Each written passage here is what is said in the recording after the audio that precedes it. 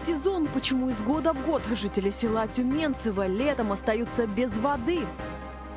Третье за полгода. В каких маршрутах Рубцовска увеличилась стоимость проезда? Петровка, голодовка. Почему так называли на Руси пост, который начался сегодня?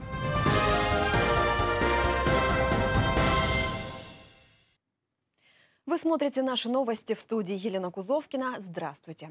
Правительство Алтайского края ушло в отставку. Указ подписал в Рио губернатора края Виктор Томенко 1 июня.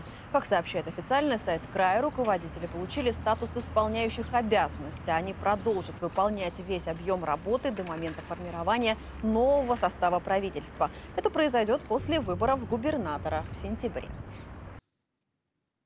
Уровень воды в реках края растет. Как сообщает Алтайский гидромедцентр, за последние сутки вода в Катуне в районе Сросток поднялась на 5 сантиметров. Зато Бия в районе Бийска за это же время упала на 7 сантиметров.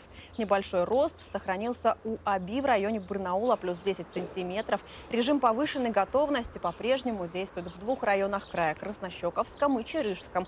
Здесь отмечен наибольший рост плюс 82 сантиметра. Спасатели отмечают, что ждут возможных подтоплений в ближайшие дни тепло может спровоцировать обильное таяние снега в горах. По прогнозам метеорологов, в следующие пять дней по краю ожидается до плюс 28 градусов. Водонапорная башня рухнула в селе Тюменцево. Инцидент произошел в конце прошлой недели. Пятый день несколько многоквартирных домов остаются без воды, жалуются местные жители. Хотя в администрации села утверждают, что вода есть. Основной причиной падения стала изношенность конструкции. Башни больше полувека, и она давно нуждалась в капитальном ремонте. Но районные власти на проблему не обращали внимания, рассказали жители. В итоге подпорки конструкции не выдержали, и башня упала на бок. По словам сотрудников местной администрации, восстановить подачу воды удалось уже 1 июня. По их данным, сельчан подключили к соседней башне. И обеспечены ли люди водой? На сто процентов обеспечено. Ну, рухнуло, рухнуло, что теперь? Тут уже ничего не поправишь. Башня 70-го года постройки. Время, наверное, пришло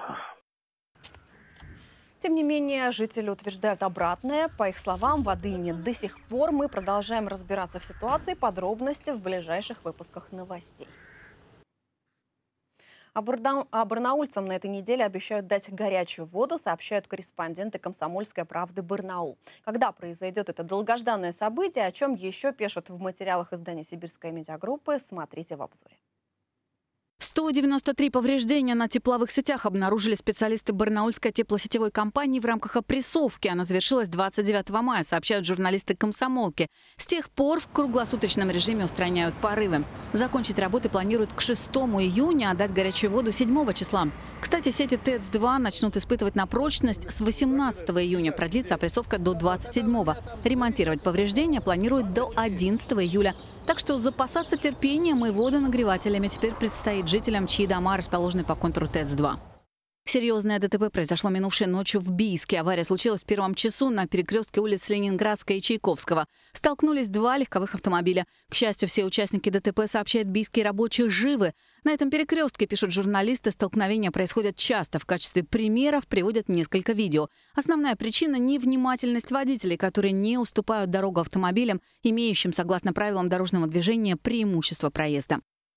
Барнаульская школьница Аня Филипчук представит Россию на детском Евровидении 2018, сообщает Политсибру. Она стала победительницей национального отбора с песней «Непобедимые». Финал проходил накануне 3 июня в Международном детском центре «Артек». В жюри конкурсного отбора были Игорь Крутой, Лариса Долина, Лев Лещенко, Сергей Лазарев, Николай Басков, Олег Газманов. 13-летней Ане теперь предстоит защищать честь России 25 ноября в Минске. Татьяна Голубева, наши новости. В Рубцовске увеличилась стоимость проезда в общественном транспорте. За 7 месяцев это уже третье повышение.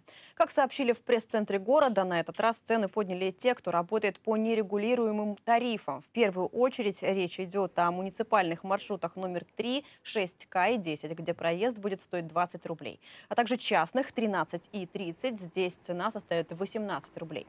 Напомним, в феврале уже было повышение стоимости на нескольких городских маршрутах. Тогда в администрацию обратились часто частные перевозчики с просьбой увеличить цену за проезд до 17 рублей.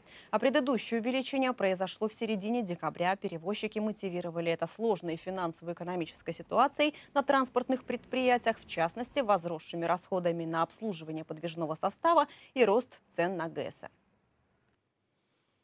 У православных верующих сегодня начался Петров пост. Он считается не самым строгим и продлится до 12 июля. Кстати, продолжительность поста каждый год меняется. Он начинается ровно через неделю после Троицы и может длиться от 8 до 42 дней. Верующие на время поста не едят мясо, молочные продукты и яйца. В среду и пятницу отказываются от рыбы. В народе же Петров пост звали просто Петровки или Петровка голодовка, так как от предыдущего урожая почти ничего не осталось, а до нового еще далеко далеко. Показал не лучший для себя результат, но все равно стал первым. Барнаульский легкоатлет Сергей Шубенков принял участие в забеге в рамках этапа мирового вызова в Голландии. 110 метров с барьерами наш спортсмен преодолел за 13,23 секунды. Вторым стал Орландо Артега из Испании, третьим Паскаль Мартино Лагард из Франции. Напомним, в этом сезоне Шубенков занял третье место на этапе бриллиантовой лиги в Шанхае и второе на этапе в Юджине. Сергей Шубенков совсем недавно стал папой, правда, из-за насыщенного спортивного графика сыну до сих пор не видел. В завершении выпуска о погоде. Спонсор прогноза погоды – компания «Эвалар».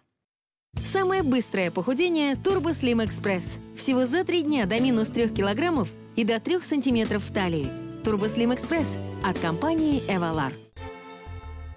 В крае возможен дождь в отдельных районах гроза. Днем до плюс 20 в Алейске и Камне-на-Оби, 19 выше 0 в Славграде, в Барнауле до 20 тепла. Телефон редакции в Барнауле 722 440. Это все новости к этому часу. До встречи.